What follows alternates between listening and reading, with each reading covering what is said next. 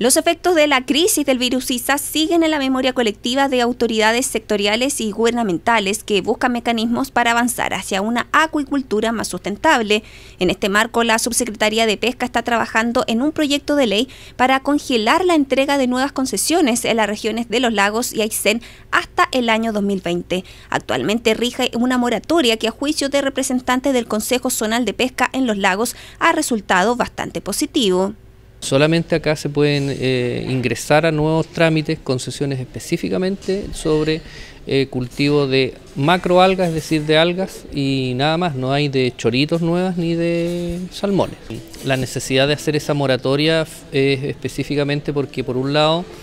se requería, eh, sobre todo por los efectos que tuvo el, asunto de Lisa, digamos, la, crisis de Lisa, en, en la crisis de Lisa básicamente yo podría decir que una de las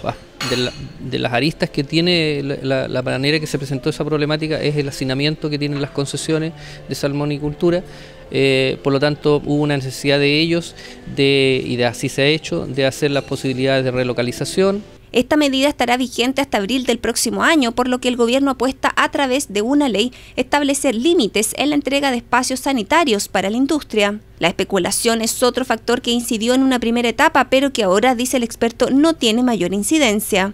En una primera etapa de la industria acuicultora en general,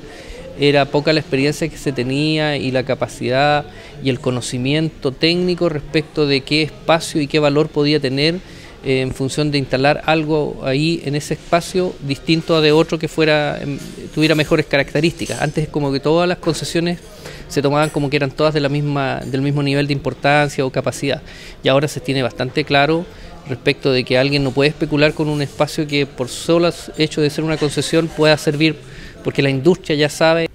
La idea ahora es culminar el proceso de relocalizaciones que se inició con la ley de salmonicultura el 2010.